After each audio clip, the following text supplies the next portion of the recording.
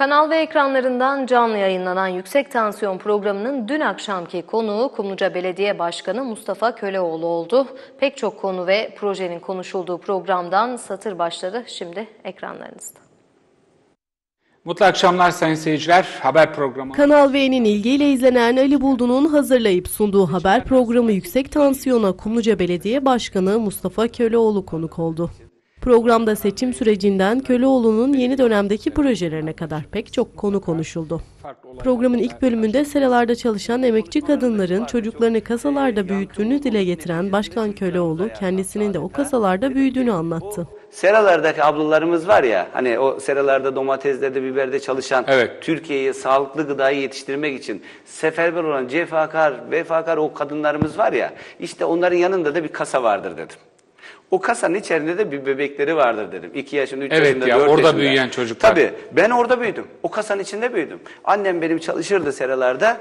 Ee, bakacak yer yok, bırakacak insan yok. O kasanın önünde içerisinde olsun en azından. gözümün önünde olsun. O kasanın içine beni oturturdu. Ben oradan benim gibi binlerce insan hala çocuklarını bir sürü fotoğrafım var seralarda. Ansızın seraya giriyorum. Bir bakıyorum kasanın içinde çocuk var. Geleceğin belediye başkanları orada. Bak ben onlara diyorum. Geleceğin belediye başkanları sizlersiniz. İşte ben de o kasalardan çıktım. Adrasan'daki Sulu Ada'nın adaylığı sırasında proje kitapçığında birinci sırada olduğuna da değinen Başkan Köleoğlu, bölgenin dünyanın çeşitli yerlerindeki turizm fuarlarına tanıtılacağını söyledi. Proje kitapçının baş noktasına ilk başına Adrasan'daki suladamız var bizim. Evet. Dünyanın Evet, çok güzel en temiz, dünyanın en temiz sahili bizim Adrasan'daki suladamızdır. Ve ben dünyadaki 172 ülkeye turizm fuarlarında Kumluca'mızın bu e, dünyaya tanıtılan yüzü olması anlamında bu suladamızı dünyaya tanıtacağım.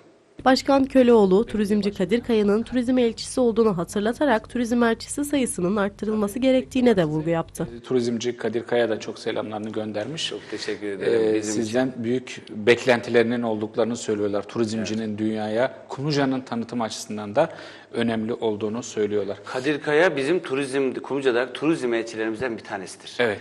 Dünyaya Kumluca'nın tanıtılmasında Bir kıymetini bilemediler ama. çok e, sahip çıkılması gereken bir e, kişidir. Yani bizim turizm açımızdan dünyaya turizm elçisidir. Biz bu turizm elçilerine destek vermek zorundayız. Evet. Bir tane değil, birden fazla olması gerekiyor. Belediye başkanı